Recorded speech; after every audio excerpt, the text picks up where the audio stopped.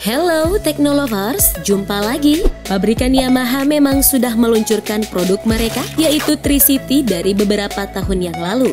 Sukses menghadirkan motor Matic roda 3, rupanya akan muncul lagi motor dengan roda 4 yang akan menjadi pesaing baru bagi Yamaha. Skuter quadrocuder siap mengambil hati para pencinta metik di tanah air dengan menampilkan desain yang unik layaknya sebuah mobil yang memiliki roda empat. Lantas, apa sih keunggulan kedua motor ini? Berikut ulasan kami perbandingan skuter quadrocuder versus Yamaha Tricity versi teknologi populer. Tapi, sebelum melanjutkan video ini, klik subscribe dan lonceng notifikasi agar kamu tak ketinggalan info menarik lainnya setiap hari di channel Teknologi Populer.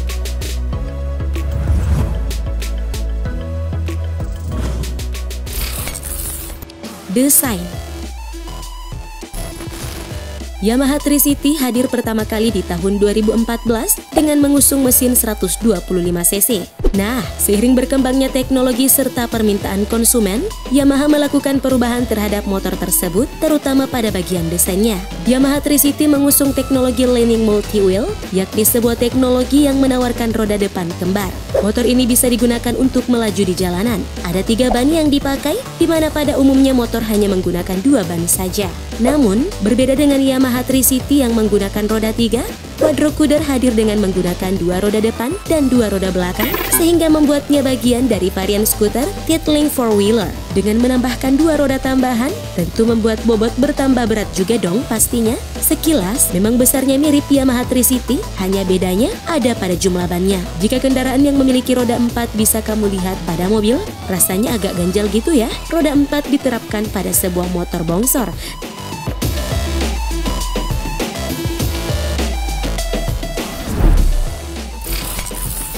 Dimensi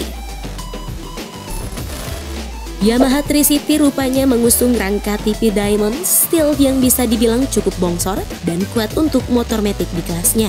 Hal tersebut memang bisa dilihat dari ukuran panjangnya yang mencapai 1980 mm, lebar 750 mm, dan tinggi 1210 mm, dan juga memiliki jarak sumbu roda 1350 mm. Dengan mengetahui ukuran dimensi dari Yamaha Tricity 155 ini, tentu dirasa cukup pas dan cocok untuk postur tubuh kebanyakan orang Indonesia. Nah, bagi para pengendara yang memiliki bodi kecil, mungkin saat menopang motor ini akan sedikit terasa berat karena bobot yang ditawarkan mencapai 165 kg. Selain itu, Yamaha Tricity tersebut juga memiliki ukuran ground clearance setinggi 125 mm sehingga akan sangat aman pada saat dikendarai melewati jalan berlubang ataupun polisi tidur. Sementara quadrocuder yang mengadopsi rangka frame steel tubeless memiliki tinggi 1360 mm dan panjang 2200 mm. Adapun tinggi joknya yakni 780 mm dengan sumbu roda 1580 mm. Tampaknya dari sisi dimensi nih ya Technolovers, quadrocuder ini jauh lebih bongsor lagi dibanding Yamaha Tricity. Memang bisa dibilang cukup besar dan kokoh sehingga akan menawarkan kenyamanan kepada pengemudinya ketika berkendara.